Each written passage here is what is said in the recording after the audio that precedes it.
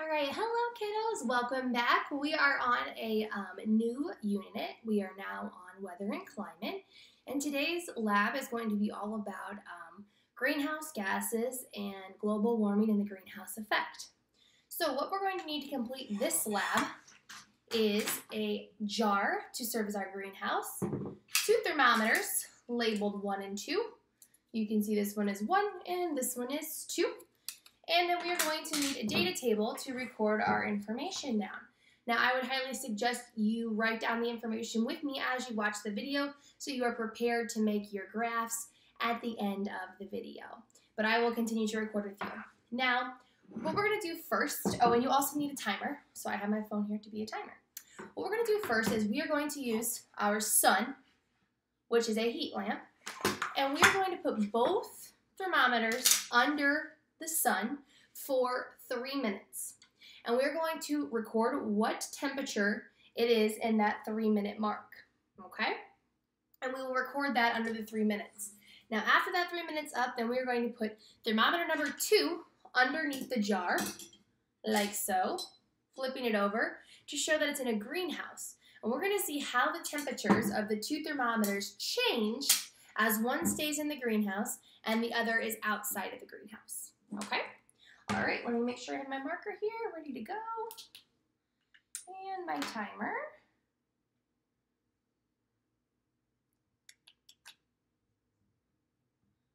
Okay. And the first one is going to be three minutes, and I'm going to hold them equal distance from my lamp, right next to each other. And I'm going to go ahead and hit start, and we are now waiting three minutes to see what would happen. Now, as we wait, I'm going to try to talk to you guys a little bit about the idea of this greenhouse gas and um, greenhouse effect. I made a nice little chart here for you to show you a few different things um, to help you understand uh, global warming. Number one, there are four different types of greenhouse gases. Those types of gases are methane, CO2, which is carbon dioxide, water vapor, and nitrous oxide. Now, these greenhouse gases serve as little gases in the atmosphere that trap heat. And they trap that heat so that Earth can maintain its warmth. Okay? Now, if you can see my pretty little picture here of Earth, I know I'm a beautiful drawer. The sun is going to bring down radiation. Those little bubbles represent our greenhouse gases. Those greenhouse gases take in that heat.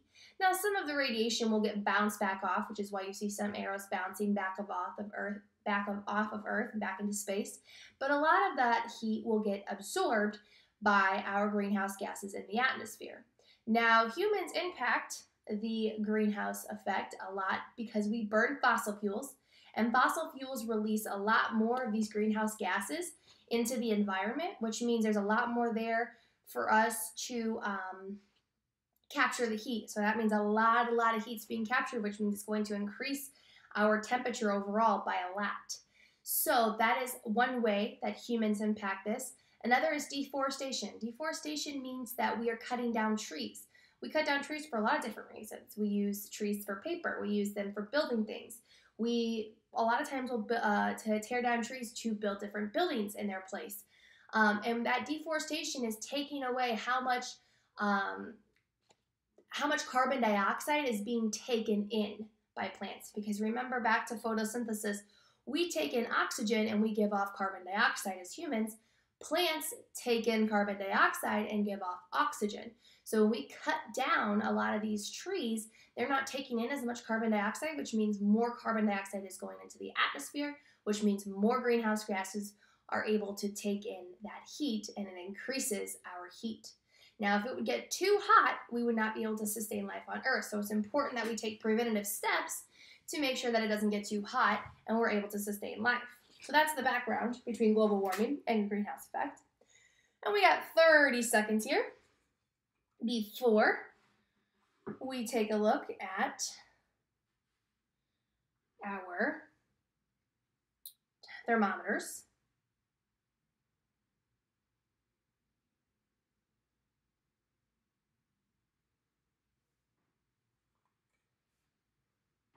And I am going to stop it here as soon as it hits the 30 minute mark, okay? And we are going to evaluate how many degrees it is on each of these. Thermometer number two is right at 30 degrees Celsius. Thermometer number one is at 29 degrees Celsius. So I'm going to record that here. Yes, I am using Celsius. All right, now thermometer number two is going to go into my jar. And my jar is going to go onto the heat. And now I'm going to wait three more minutes. And we're going to wait till we're at the six minute mark. They noticed that they were about the same because they both were in the light for three minutes. So one was at 29, one was at 30, they're about the same. Now this glass jar is serving as our greenhouse. So when I take a look at our temperature, I am not going to open up the jar because I would be letting all the heat out. And the glass basically shows what the greenhouse gases in the atmosphere do. It's going to trap that heat inside and make it warmer in there. And you're going to see that the temperature inside the jar will increase more rapidly than the temperature outside the jar because of that glass trapping the heat. So it's very important we don't lift up the jar because then we'll be releasing all of the heat. So I'm going to do my best to read the thermometer as is, upside down and in the jar. We are at the four minute mark. This is a little bit of a lengthy lab.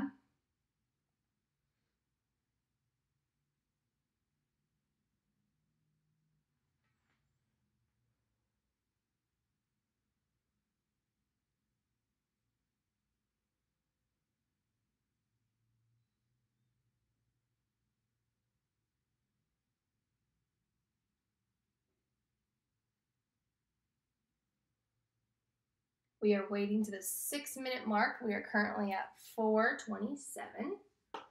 Got a little time left. I did not show you my board last time, but I will show it to you. Our two readings from last time were 29 degrees Celsius for thermometer 1 and 30 degrees Celsius for thermometer 2. I put a little GH next to thermometer 2 so you know that's the one in the greenhouse. Now, remember that greenhouses are not just talking about the greenhouse effect in the environment, but we also use greenhouses for plants. Uh, we use a glass building, like our jar, and we put plants in there so that they are able to sustain life even when it's really cold, like during the winter months. They're able to stay nice and warm because they have that um, glass container trapping that heat for them. So it works the same way. And we are at five minutes. We're about there but we're to have to read it here.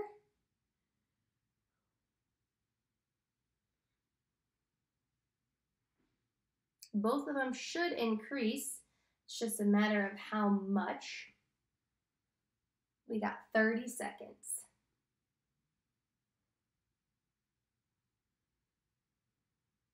And I'm not going to stop my timer this time. I'm going to let it just keep going.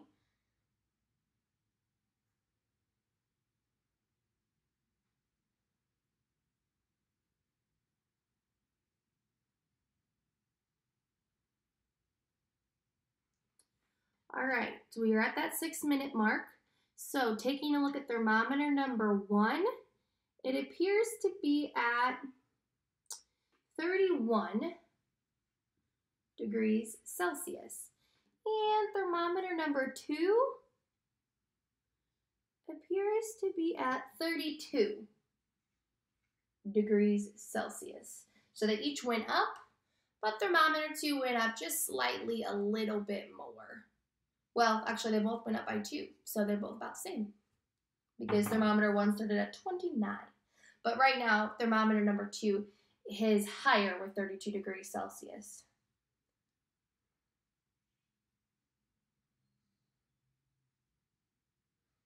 And we're just at that seven minute mark.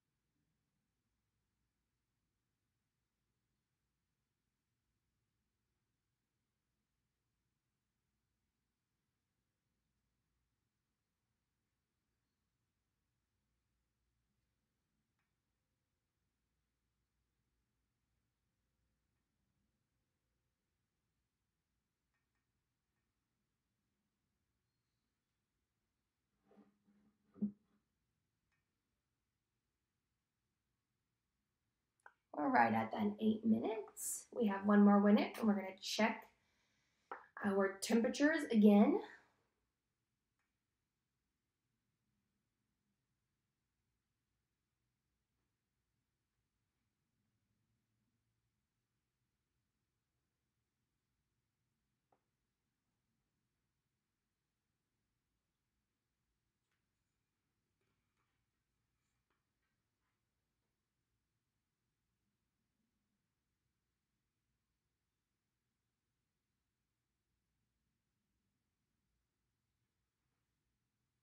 We have 30 seconds. Then we're going to be checking our thermometers again.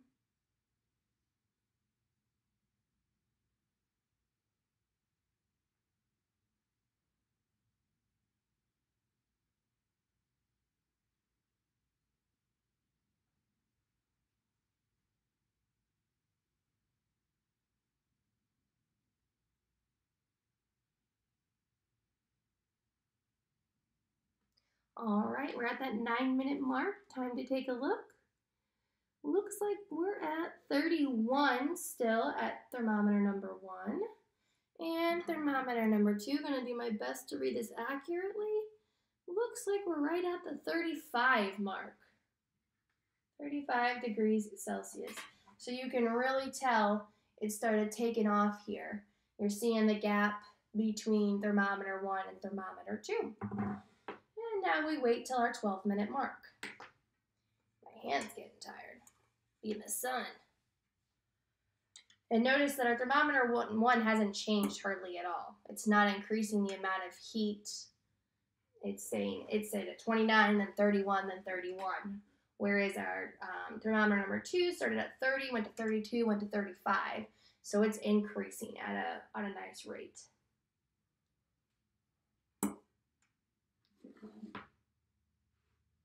We're at the 10 minute mark.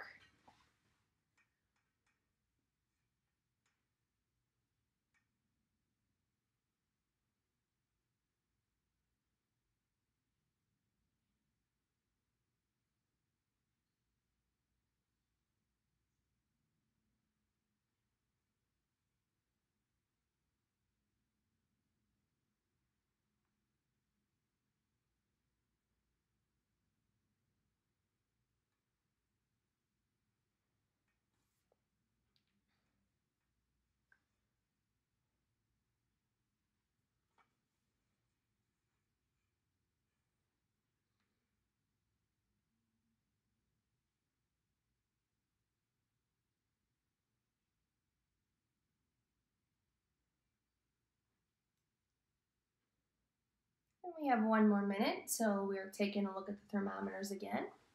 We'll be at the 12 minute mark. Knock my camera.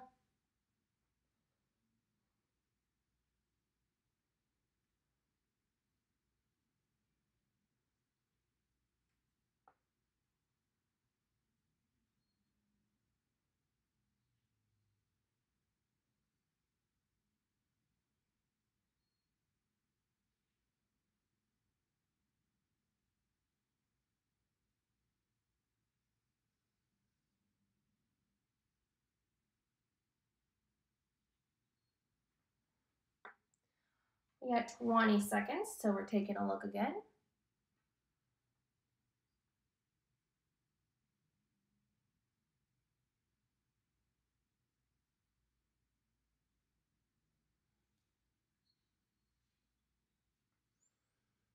All right, we just hit the 12 minute mark, so I'm going to take a look at this one again. This one seems to be at 32. So small rise there, degrees Celsius. This one is looking to be at, mm, I'd say 44 degrees Celsius. My marker's kind of going out of me, but I will let you see our data collection so far. For thermometer number one, sorry, I'll get you. Thermometer number one, it shows 29, 31, 31, 32. For thermometer 2, we're looking at 30, 32, 35, and 44. Ooh, goodness. And now we're waiting for our 15 minute mark.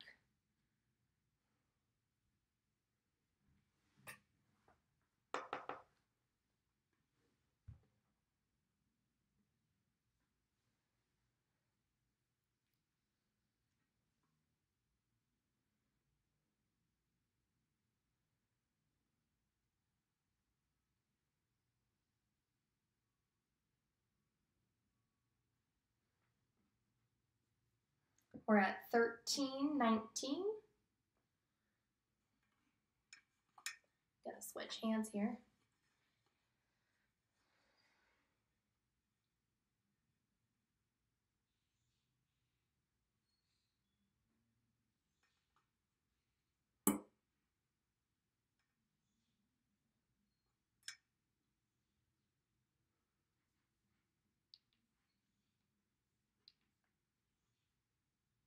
We're at 14 minutes.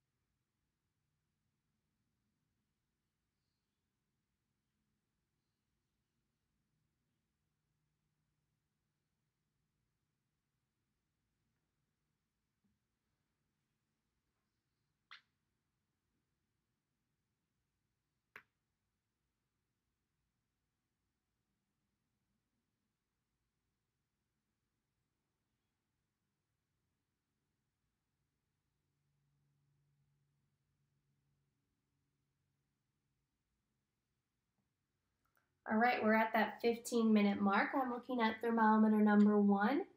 Thermometer number one appears to be at, I'd say 31 degrees. So went down a little bit. My marker's not wanting to work.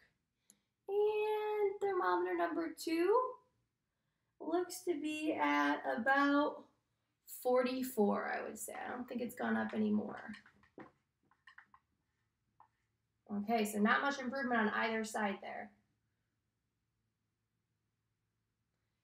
And now we're waiting till our 18 minute mark.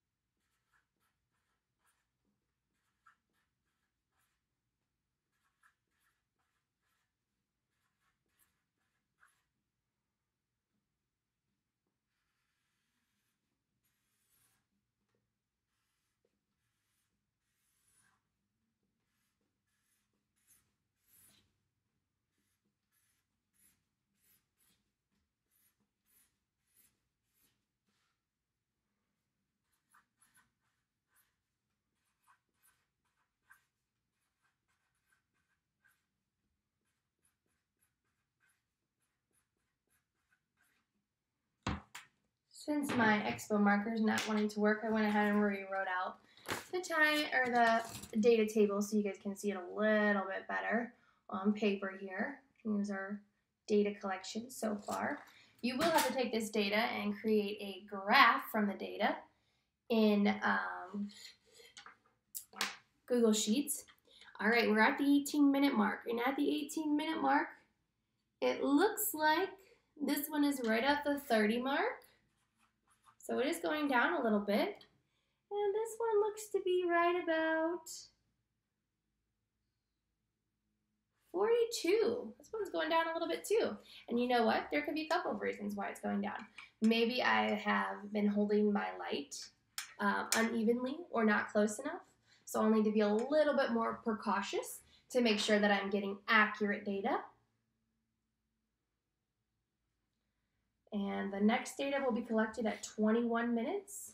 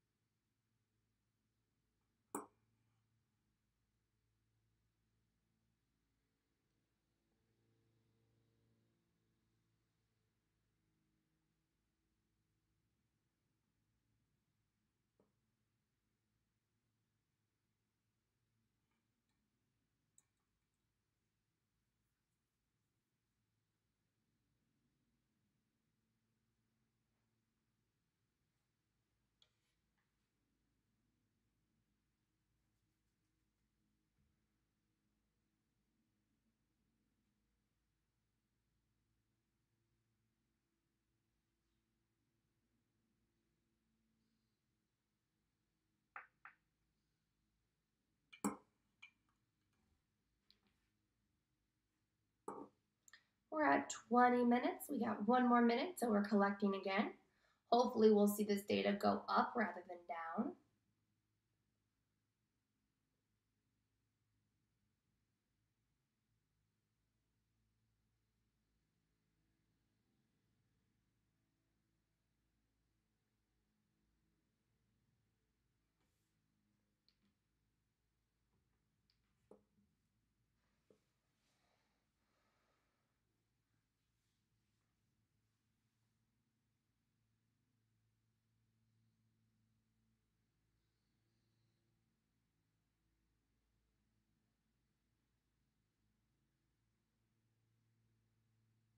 We had about 20 seconds till we're reading again.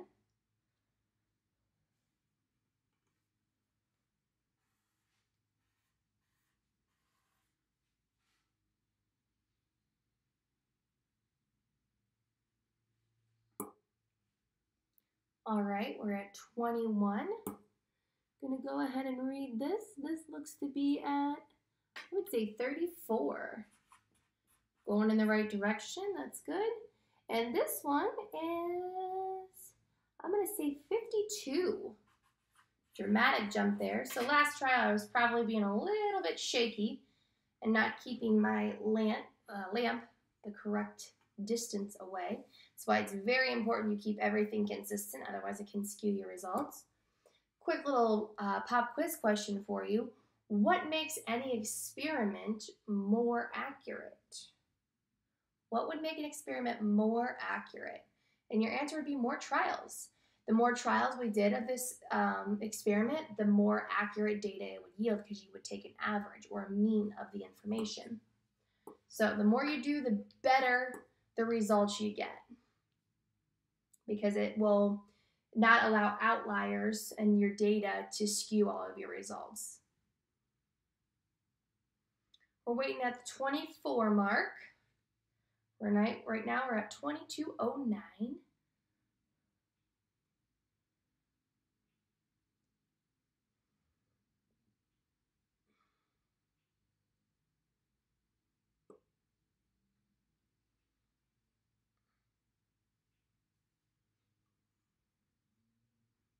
And this will be our last reading.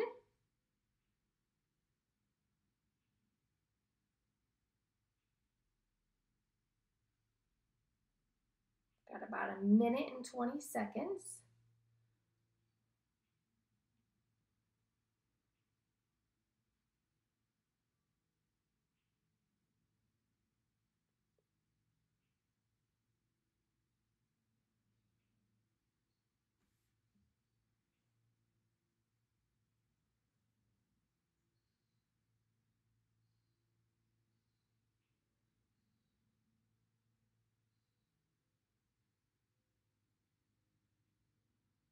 About 45 seconds remaining.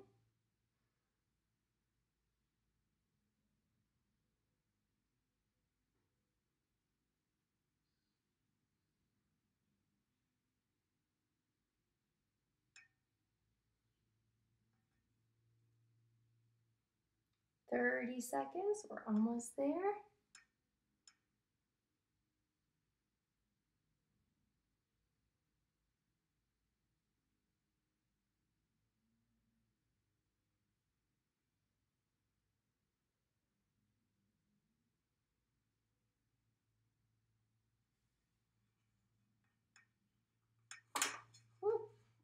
Goodness.